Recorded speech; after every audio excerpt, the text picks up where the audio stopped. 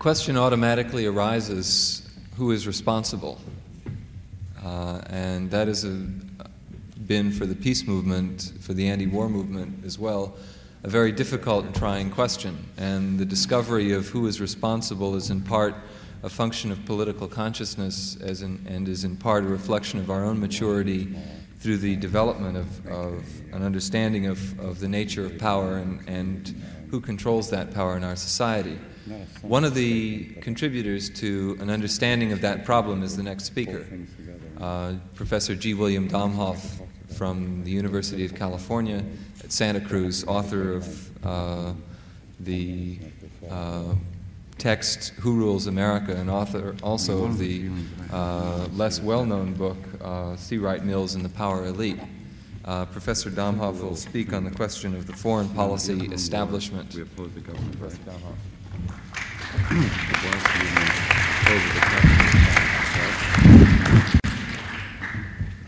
In these brief few minutes, I want to talk on how and why the power elite makes foreign policy. Since this presentation is very short, it will consist mostly of assertions. That is, I will not be able to describe in detail the methods by which I arrive at the statements I make. I will not present all the evidence that I very easily could present, and I will not uh, be able to burden you with a great many supporting footnotes and, and references. Now, I want you to know that this is the most uncomfortable situation for an academic to be in because we like very much to cover ourselves, to be temperate, reasonable, confusing, and unconvincing. Now, apologies aside, I will try to show that the power elite make foreign policy in this country, and I will tell you exactly how they do it. And at the close, I will say a word or two about why they do what they do, which is very easy to know if you know how they do it. I define the power elite as the operating arm of the American upper class. It is the group of people that keeps two tenths of 1% of the American people owning 22% of all American wealth that's privately held, and 65 to 70% of all corporate wealth. It also keeps this small group of people enjoying the good things that wealth can buy and command. Jet set parties costing 75 to 100,000 dollars, debutante balls costing a couple hundred thousand dollars, keeping horses who eat enough and need enough care in a year that takes more money than most people make in a year. The point is very simply, and no radical statement should ever begin without it, that the people that have wealth in this country are very small. The rest of us have education, expertise, our reasonable and sensible judgment, and our good name, and we can last about three weeks uh, without our salary, which explains a good deal why everybody keeps their place uh, in the system. Anybody that doesn't is an individualist and martyr and suffers from an overly um, developed superego. And if you understand Lenny Bruce, uh, he said very simply if you want to be a man in this system, uh, you sell out. Anything less than that is a little crazy if it's not part of a movement. Uh, morals aside. Not all members of this privileged upper class, this ruling class, are involved in ruling. I talk to many every day that don't have the slightest idea how the system runs. But the fact is that some few very important members of this class are involved in running the system, and they do so in conjunction with carefully selected employees. And they are the ones that make the big decisions. They are the ones that head this country in certain directions. It is not a function of their personality. It is not a function of LBJ's boorishness. It is not a function of Eisenhower's stupidity or any little accidents along the line. Uh, these decisions are made by moderate, pragmatic, smart, given the system, men with the absolutely best academic advice that can be bought. I'm not trying to say they're geniuses. I'm just trying to say that they're every bit as smart as we are, and they know everything that we can figure out, these men have figured out. And this is the difference then. You'll meet members of the ruling class that don't know up from down, but you'll also meet members of the ruling class that are very, very sophisticated about this system. And I'm going to tell you how they get sophisticated. And I'm going to do it particularly in terms, of course, of foreign policy. How do they do it on foreign policy if they do it? I'm always glad to do this on the Berkeley campus because the wonderful pluralists always chuckle at me and say, Well, how do they do it? It's a big joke and have a big giggle.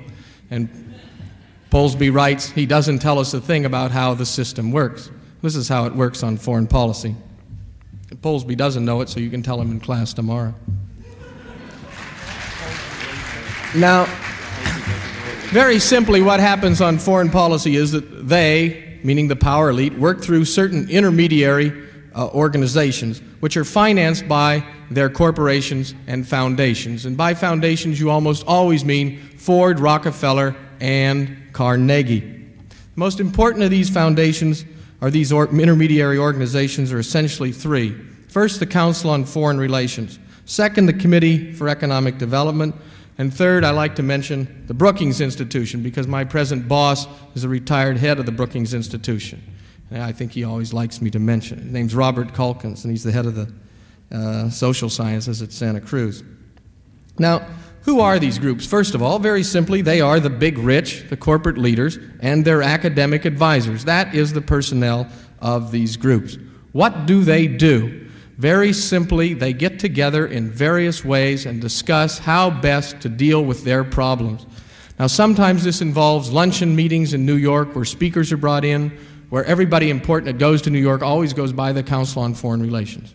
But most important, this involves groups, discussion groups of 20 to 25 men. And these groups get together to discuss a question Russia, China, nuclear policy. Who is, who is in these groups? Well, they're led by maybe four, five, or six academics. The finest you can buy is to repeat. And then you'll find in the group various big corporate leaders, and they will discuss a given question. One of my friends uh, who served as an informant for me, as well as my more academic understanding of this, explained a group from the early 50s. He was in a group on sort of the revolutionary potential in Russia. And in this group was J.J. McCloy of Chase Manhattan, Ford, and many other pursuits, Devereux Josephs of the Morgan Empire, uh, Dean Rusk, who was then just a, a, petty sort, and Averell Harriman. Oh, I was stunned when he told me this because it's almost textbook in terms of our paranoia as who was there. There were other, there were other businessmen there. Uh, there's a representative from State Department, and then there's a representative from the CIA, Robert Amory, Cleveland Amory's uh, not so funny brother as, as Cleveland is. And with the help of various people from Columbia and Harvard and so on, they discussed what the chances were for a little change in Russia. And uh, the conclusion of the group was much that, uh, that the academics said there wasn't much chance for the kind of change that Americans would like to see, and, and the CIA uh, concurred. Now that's where it happens. My buddy also wrote at that time a little report saying it'd be crazy to hold an election in Vietnam. He's a, he's a good pluralist, guy. I almost jumped out of my chair and I grabbed him and I said, Well, did, did Averell Harriman hear it? Did McCloy hear it? He said, Yeah, they heard it. I said, What, what did they say? He said, Well, they didn't say anything. They just listened. And he said, I, I said, Do you think that's how that word got to Ike? He said, I don't know. Anybody that would have studied at that time would have known that you should never hold uh, such an election and so on and so forth. I said, Well, God, this is a perfect case where I can actually see policy generated and go right on. He said, Well, I can't, I don't really know anything more uh, about it. Well, it, you know, we got pretty close that time, but, you know, everybody has a little piece of the action, a little piece of the system. Kissinger ran one of these study groups in the late 50s. Same sort of personnel, CIA, State Department, big corporate leaders, and they discussed uh, nuclear weapons. It was a rather impressive uh, sort of, of book that came out of it. Is this all a conspiracy, like Dan Smoot says it is? Dan Smoot taught me all this, and I always like to point that out because I have learned more from Dan Smoot than any uh, political scientist in this country. And, but the thing is that Dan Smoot thinks it's all a secret conspiracy, uh, which is sort of tragic because he learned about it in Harper's Magazine and from their annual report. The important thing, though, is that these are consensus seeking organizations. It's in these organizations that the leaders of the ruling class, the power elite, meet and discuss and, and become sophisticated. They are consensus seeking, they are not conspiratorial. They'll send you their annual report. The academic community will not study the Committee for Economic Development. They have to hire their own historian to brag. They have two books out now by Karl Schriftgiesser. He's the only one that studied them. Uh, they want to let everybody know that they aren't like the NAM, that they're liberal. They're corporate liberals in new left term. But they have to brag about themselves. You can't get anybody to study them. I always like to use this particular example because it gives us a chance to discuss conspiracy because that's a, a word that uh, ties up with paranoid, which many political scientists learned about in their introductory abnormal psych course. And everybody knows that paranoids, they see plots and so on and so forth. And it's a wonderful thing to pin on a guy to call him a paranoid, call him conspiratorial, and that's the end of, of the argument. And uh, it, it, gives us a chance to then deal with this. Because, of course, it's not a conspiracy in that sense. Uh, these people do it in the open, they'll send you their, their um, books. The main thing is that why you don't know about this organization is that nobody cares. The American people, most of them, are getting theirs. As long as they're getting theirs, they're not going to look uh, very hard. The second organization I'll just mention very quickly is the Committee for Economic Development, formed uh, about 1942 by people that were essentially scared that there would be a post war depression. Again, discussing with carefully selected economists, they uh, learned about the system. Seven of the eight top people in the Marshall Plan came directly from the Committee for Economic Development. I have a favorite story about the committee. Uh, it concerns the Alliance for Progress. You could read the whole chapter in Schlesinger's book on a thousand days, and you would think that Schlesinger started the Alliance for Progress. But uh, I happened upon the fact that uh, maybe CED was involved in this, and I wrote to them, and they said, You're darn right. We wrote a report that was very similar to what's the Alliance for Progress, uh, because some of the pa- same people worked on our report that worked on uh, the Kennedy report. But you would never know that uh, from reading uh, Schlesinger. You would never know from reading Raymond Bauer and Ithiel de Sola Pool in their book on, on American business and public policy uh, which is about uh, uh, lowering tariffs, free trade, you would never know that they were in a Council on Foreign Relations study group which talked about this whole thing. You read their book, and it's just sort of a miracle that uh, the business community is suddenly uh, no longer isolationist. You wouldn't know that the Committee for Economic Development, the Council on Foreign Relations, have been pushing this whole change uh, for 30 years. Where do these people get their academic expertise? Where do they get so clever about the system? Well, they first of all get them from scholars at certain institutes. First of all, I would say at Harvard, MIT, Columbia, and Princeton, and a few strays in the hinterland, such as at Berkeley, and that was spelled out in pretty good detail this morning, and it's in a, and it's in a pamphlet that uh, radical students or whatever are going to make up. Point is, that's a very nice case example of, of what happens and where these academics, these certain academics are, are housed. Uh, they then go and, and perform for the Council on Foreign Relations or or for the Committee for Economic Development, or for sundry other groups that, that I uh, could mention. These scholars are secondly housed at the RAND Corporation, uh, where people are lured with very high salaries and often given half their time free to do whatever they want. So I have a friend that works at RAND. He's a statistician, and they make him work half time, and he gets to play his own games on their fancy computers uh, the rest of his time. A third group, uh, mentioned it already, where academics are housed and where Polsby put in a little of his postgraduate time. I don't have a thing about Polsby today or anything. Uh, was the Brookings Institution. They, they, the corporate rich, not only discuss there, but they also house a great many uh, academics there. These scholars are so close to the power elite that they cannot see it. They are, in many ways, almost part of it. They don't have to be given cut in with big dough. They are so utterly flattered that they are important. How, can a, how could there be a power elite when a Jewish boy like me from the middle class can be giving advice to the President of the United States?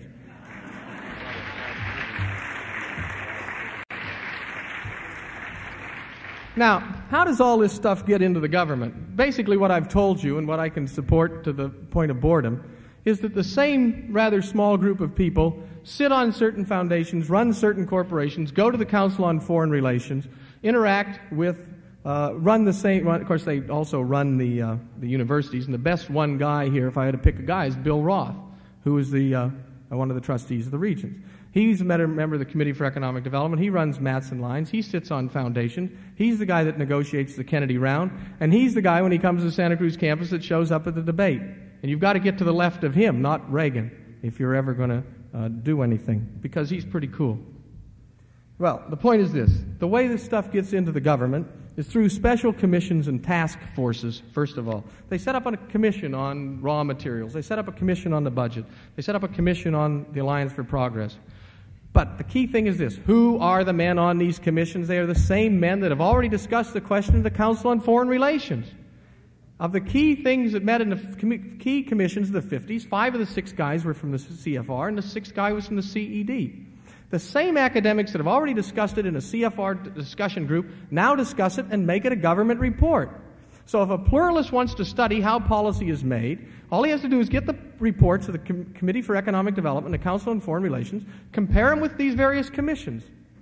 Compare with what, what, what the commission, Rockefeller Commission, the Point Four Commission, and so on. Compare it with what they've been saying in CFR for a lot of years. Compare the new budgeting system with what the CED has been pushing through several different of its commissions and programs for uh, several years. That's how they get into, a gov- into the government, and you can watch it move, paper by paper. The whole country's loaded with mimeographed handouts.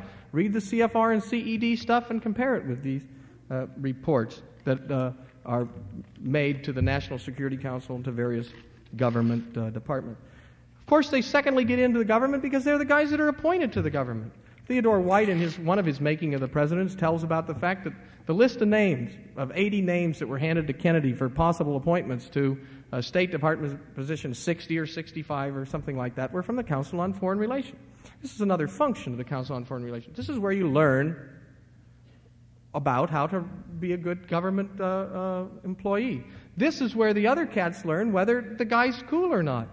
This is where I can answer A.A. Berle Jr. He said, Oh, that's all very nice, uh, Mr. Domhoff, but uh, if they didn't, if they don't rep- elect their own leaders, you can't call them an elite. They're just a collection of individuals. He said, You might as well, you might as well say that the guys that go to the Yale Harvard football game run the country. Ha ha. Uh, well, the point is that this is where you learn who's, who's got some sense, who, who is really cool. This is where Averell Harriman and J.J. McCloy and Devereux Josephs come to be seen by the rest of the guys as somebody that they want to trust on policy. That's why J.J. McCloy is on every commission and committee, including the Assassination Commission. When J.J. McCloy is on it, it's a clear sign to the clowns in the hinterland that it's all right because he has thought through it even though they haven't, or at least his advisors have told him. So you see JJ's name and you say, okay, must be all right, we can send them a few bucks. He's, you know, it's, it's just incredible because they obviously couldn't sit on all the, be there for all the commissions that he's on. And the guy that wrote one of the books on the, on the assassination pointed out that most of the commission wasn't there uh, very often. Well, so these people appointed, they're appointed then uh, to the government. The McBundys, the, the Bundys, the Kissingers, and so on and so forth. That, my friends, is a closed circuit. That is the way foreign policy is made. The only input into that system is what the hell is happening overseas.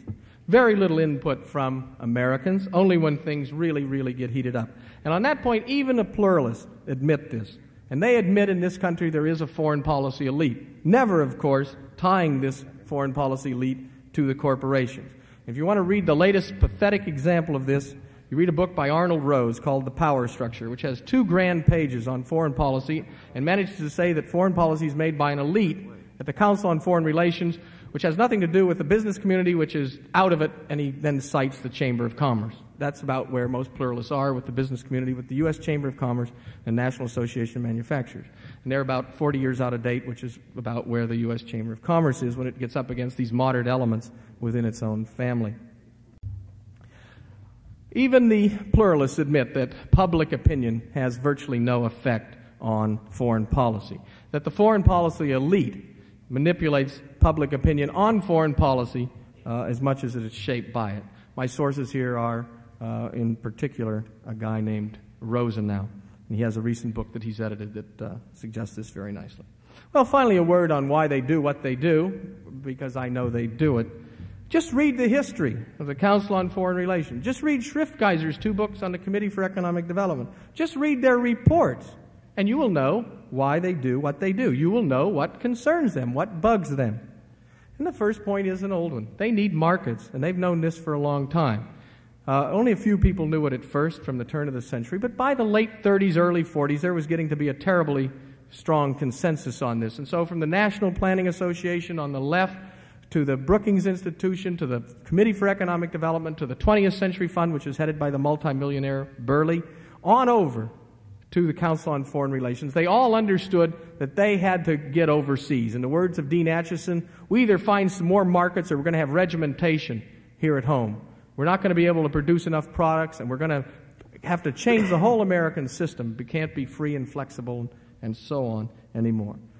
And th- this is what you learn in these particular uh, reports. Oh, you learn something about raw materials and other minor aspects uh, of this. And I would point out that if you would read these histories very carefully and these organizations very carefully, what you would learn that would be sort of stunning is that all of this really happened then long before the dirty red menace really loomed in a, in a really serious fashion in 45 and 46 when the Cold War supposedly all began. And, so on and so forth. Which then brings up the whole interesting question of the Daniel Bell thesis about how all American foreign policy is this defensive response to the, to the Red Menace. Well, in conclusion, then, what I'm saying is that why they do this is that they need what they call overseas trade. I guess that other people have another word for it and they call it imperialism. Thank you.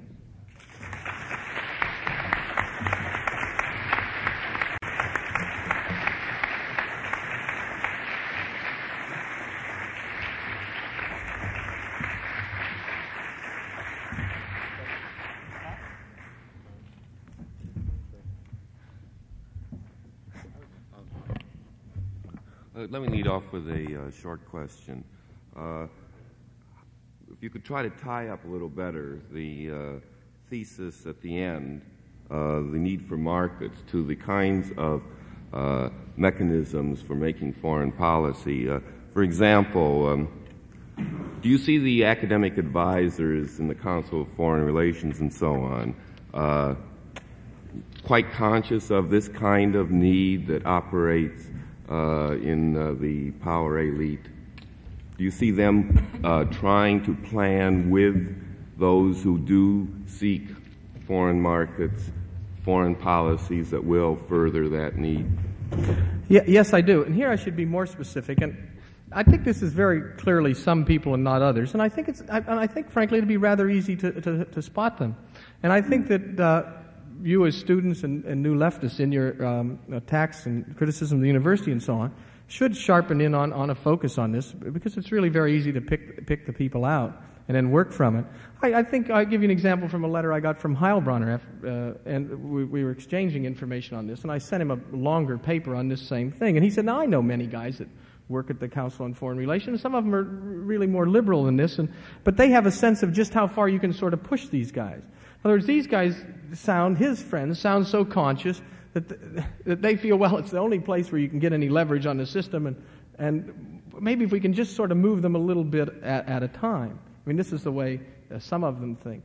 But now, my friend that, that was involved in it, uh, he is strictly a, a, political scientist. He's strictly a student of communism, and I don't think he looks at it in the economic sense.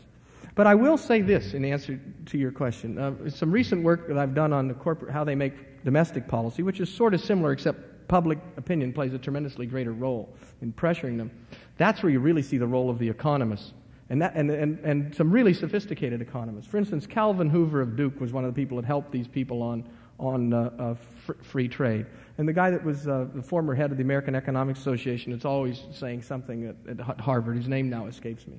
Uh, he, he is always, he's written on the corporation so. It's mild repression. He, he uh, he's always giving them advice and so on. I think those people are terribly sophisticated about the needs of the system. And the point about Bill Roth is he's not only trained at some sophisticated university by these people, but he now can be taught by them. They taught, for instance, Hoover and those guys taught him the stabilized budget concept, that, how to use the budget and so on.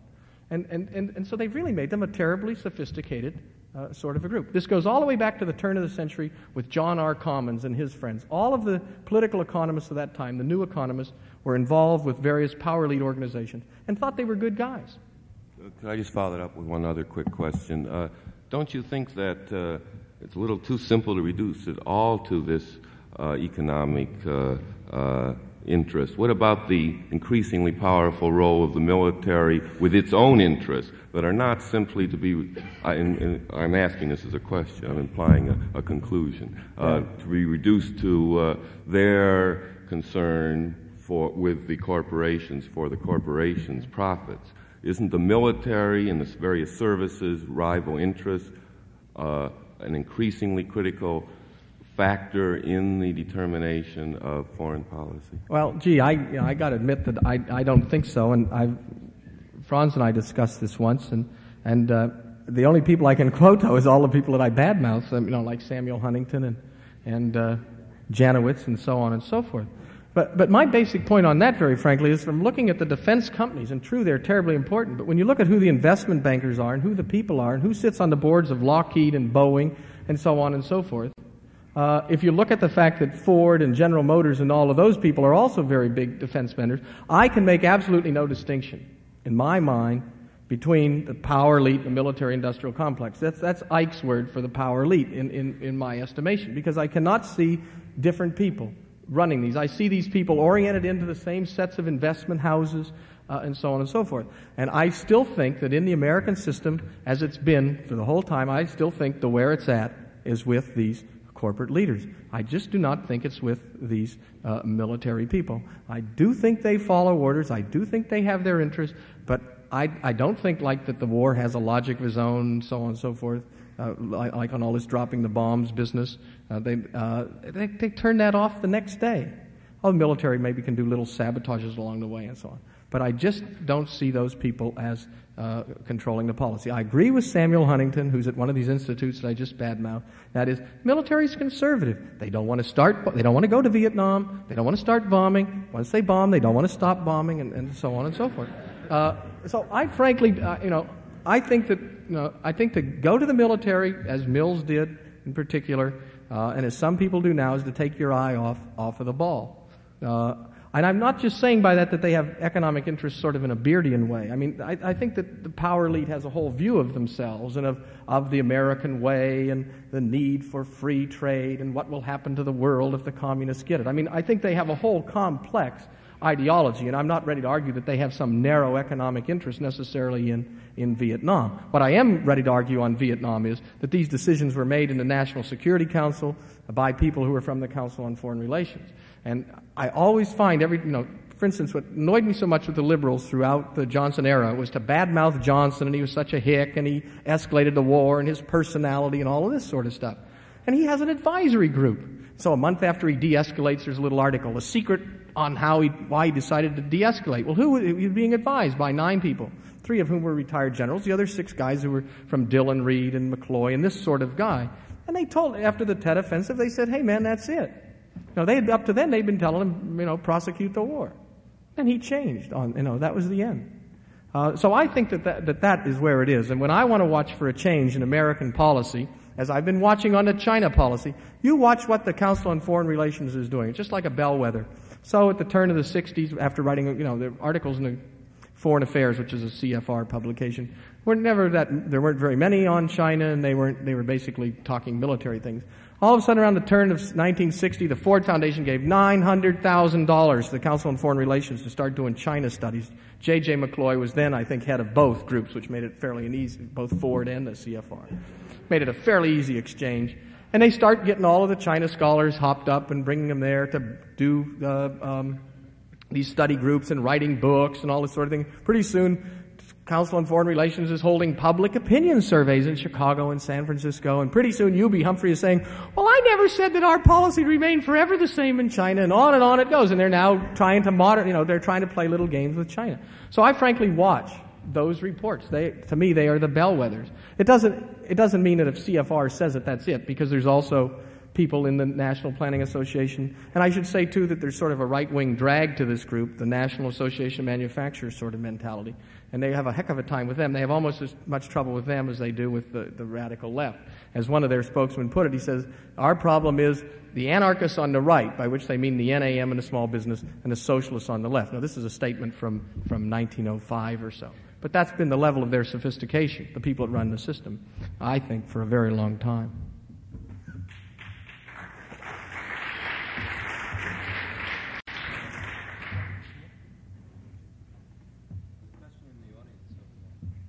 Yeah.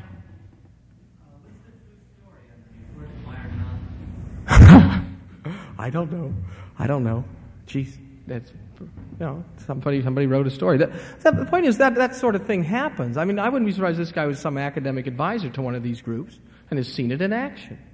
Uh, and he's seen the sort of mentality of the people, and, and he's a little shocked by their morality and, and their all business point of view and their rational calculation of possible losses and this and that and so on and so forth. Uh, the funnest thing of it is to read the reviews of it that appeared in Transaction, uh, because it really annoyed certain members of the uh, of the higher levels. The guy from Rand Corporation was just about flipped out over the book. He thought it was the most outrageous, incredible thing uh, in the whole world. Incidentally, one of the things you learn from uh, reading about the Council on Foreign Relations and so on is there's only two things in this country that really scare these people. One's the third party, and the other is isolationism. And the proper policy, the new left I now propose, is to absolutely adopt Dan Smoot's position on, on uh, foreign policy. J.J. McCloy is an un American. He's overseas. David Rockefeller is an un American, just like the Dan Smoot says. And demand total isolationism on foreign policy. This would them not to try to make a fancy distinction between American aid overseas and, the, and, the, and that other imperialist organization, the Peace Corps, and so on. Absolute isolationism. This would, and basic reason for the strategy is that it bothers the power elite so much. They're really, they're just totally afraid right now. This guy Zabrinsky or whatever his name is, that's, uh, he's with their Institute for Russians or whatever it is at Columbia.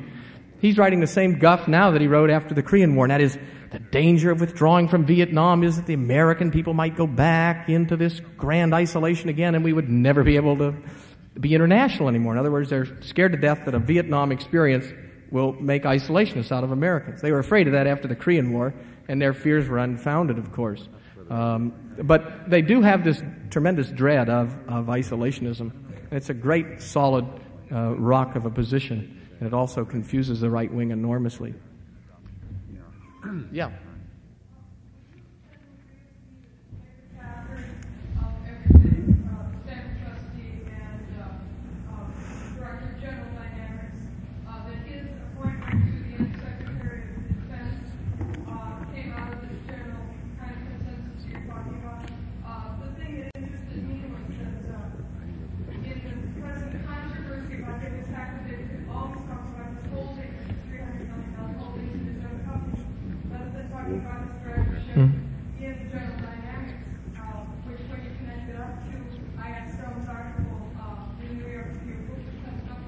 Yeah. Well, sure. I mean, see, at this point, we're talking about a world of, of things we don't know about. I mean, we talk about a bunch of people that know each other in a million different places. For instance, I happened upon the fact that that um, Gates, the, the, Secretary of Defense before McNamara, he knew McNamara. He knew McNamara because they were fellow trustees, uh, directors of Scott Paper Company. I mean, they know each other in a million different contexts. There are, incidentally, committees on foreign relations in 30 major cities in this country, and they send speakers out to the hinterlands. So there, there's a group in various cities, I forget whether San Francisco has one, uh, where they meet and discuss. I mean, this is not, incidentally, the same stuff as that insipid creature called the Foreign Policy Association and, and the World Affairs Council, which is just a finky little organization run by the same people to get you as middle class people involved in discussing foreign affairs. Very important. You go down and some inane person from the State Department comes and lays it on you with this fancy stuff, and then somebody gets up and tells you how wonderful the United Nations is, and so on. I mean, that's a different organization. That's a that's a uh, opinion influencing organization. Well, but the point is they know each other in a million different contexts, and I can't even begin to guess exactly why David Packard was picked for that job, whose friend he is, whose buddy he is, what exactly what policy lines he follows, and so on and so forth. I mean, we got to be careful on that because they're all chums. They're all chums with everybody else, uh, and from a million different ways. Yeah.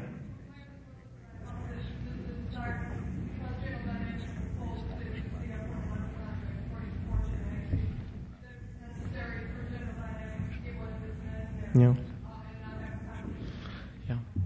I just don't know that economic detail, and I also want to know who their bank their uh, bankers are because where this really would often runs through is through Dillon Read and and houses such as that, Lehman Brothers and so on. When the Democrats are in, Lehman Brothers is big, and Lehman Brothers uh, is in on the financing of, of many of these avant-garde space and nuclear science outfits. The Rockefellers do a lot of of uh, financing into these advanced technology things and so on and so forth. Um, so it, it, it, gets very tricky. The Texas group is, is you know, financially involved with some groups. I mean, it's sort of like every group has sort of an outpost or friends in New York. I think it's very com- complicated within the group, and, and I don't think we should pretend to know that we know exactly what's going on within the group. And I do, in terms of one question over here, I get very uncomfortable when I get too sort of economic about it, you know. Uh, that is, you know, sometimes it is obviously some company involved or some group of companies, but I, I, prefer to, to emphasize the fact that they have a that they have a they are the corporate rich. They are the owners and managers of the large corporations that uh, control the wealth of this country and make the major decisions. I think some of them graduate to a systems consciousness. They, they advance beyond an interest consciousness. They become systems conscious. A guy like Bundy. Bundy's from a very rich and old family. But you can't tie him with any specific corporation, but you can tie him with the foreign policy establishment through his father and on back and run all through all of the secretaries of states. But he has a certain view, and he has a, a, a wad of stock, and so on and so forth. I don't think he's grinding any specific company's axe. This is a very tricky thing, and it leads to conflict with, often within the power elite, conflicts that are then taken to be pluralism. You know, they say, hey, we got to control the balance of payments. So what does Henry Ford do? The first thing he does is ship a zillion dollars overseas to buy out total control of British Ford. while, uh, while the masses are supposed to be paying a duty on any when they go foreign travel. And, and then they get mad at him. They say, Henry Ford, you know, he's just like a naughty no-no that you've got to, you know, you got to discipline him, get him back in the group.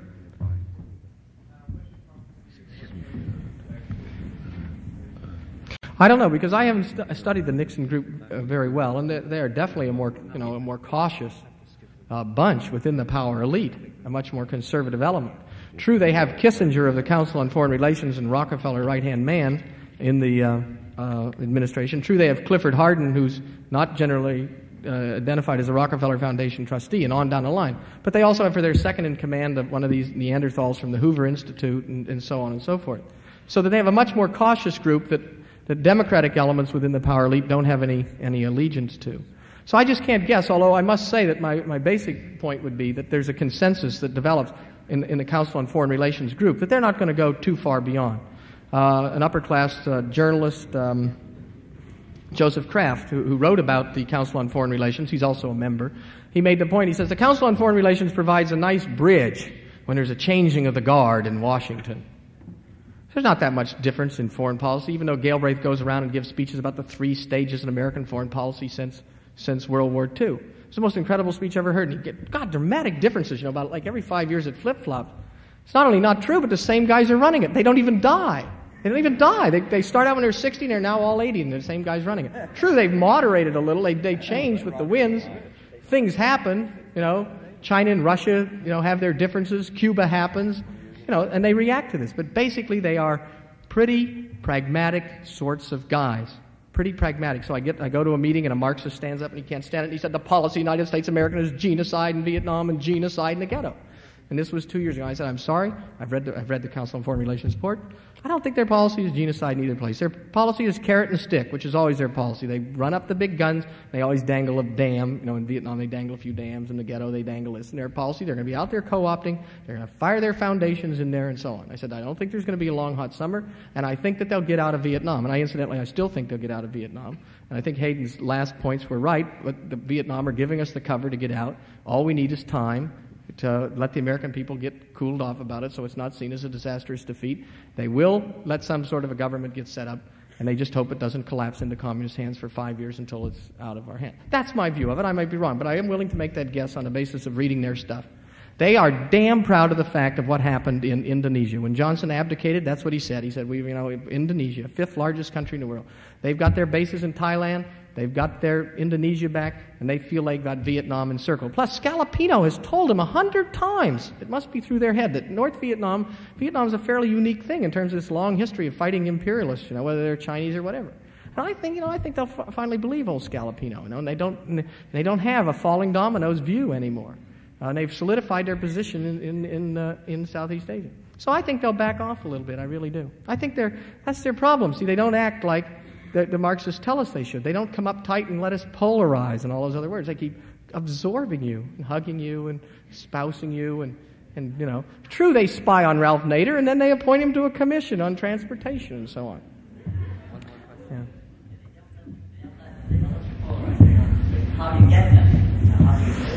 You got to get right up next to him. Just that.